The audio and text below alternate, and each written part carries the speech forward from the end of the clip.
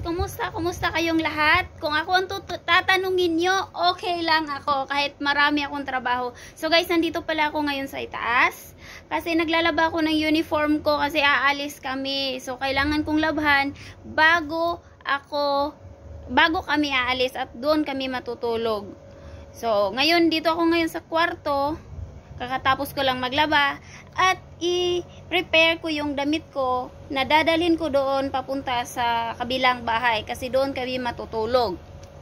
So, dito on, dito yung mga gamit ko, ang gulo-gulo, tapos ako lang mag-isa dito kasi na, yung mga kasama ko, ilan yan sila, isa, dalawa, tatlo, apat, apat sila nandoon sa baba. So, ako lang nandito sa taas.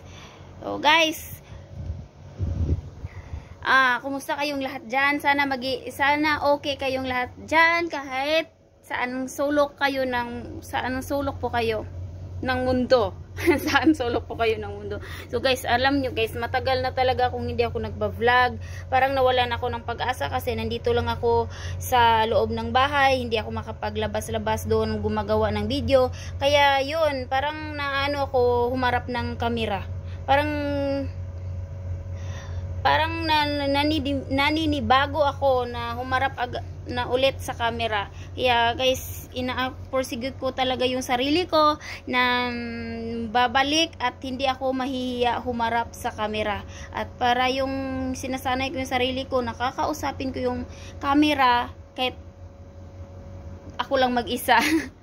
Kaya guys, so thank you for watching guys. Yun lang po, update lang po sa kalagayan ko dito, kung anong nangyayari, ganun-ganun. So guys, thank you for watching. Don't forget to like, share, and subscribe.